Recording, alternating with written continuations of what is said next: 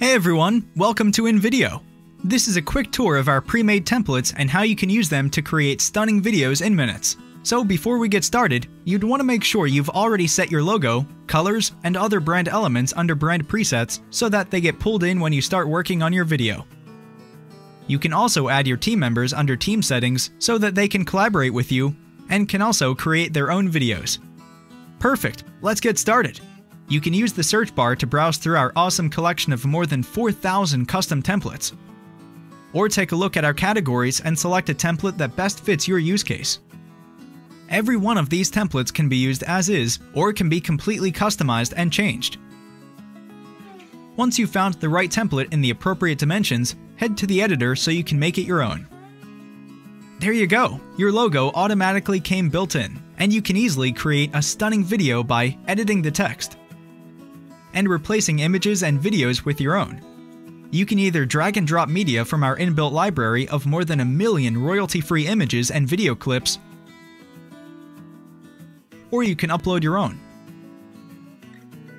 On the left is your asset library. This is where you'll find everything you need to add to your scenes, including text styles, stickers, and overlays. On the right is the Edit panel, which will show you edit options based on the element you select on your canvas. This is where you'll go to make any changes to your text and media.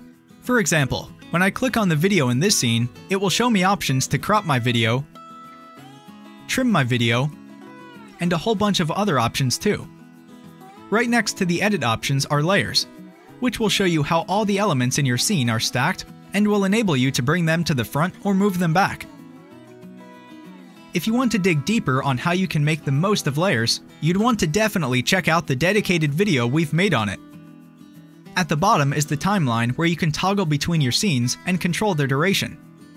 You can also select an element on your canvas, like this text box for example, and control when it comes in and moves out. This is also where you can add a new scene or delete an existing one or reorder your existing scenes. You can also switch to our advanced timeline for finer control, and if you want to know more about how you can make the most of this timeline, we've created another video that you'd not want to miss. Once you've locked in on the visuals and text for your scenes, you'd want to work on audio. You can browse through our library of royalty-free music tracks that you can use for your video, or you can upload your own.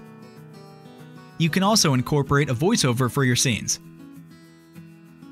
Once you've made all the changes, you can preview your scene here and once you're done finalizing all of your scenes, you can preview all the scenes in your project here. If it's ready and good to go, you can hit export and your video should be ready for you to download in under 5 minutes. You can also easily share this across all of your social channels as well as generate a preview link that can be viewed by your teammates and friends. And if all of this seems a little too daunting, don't worry because you can reach out to an InVideo expert 24 7 365 using the live chat window here, and we'll be there with you in under a minute. Happy video making!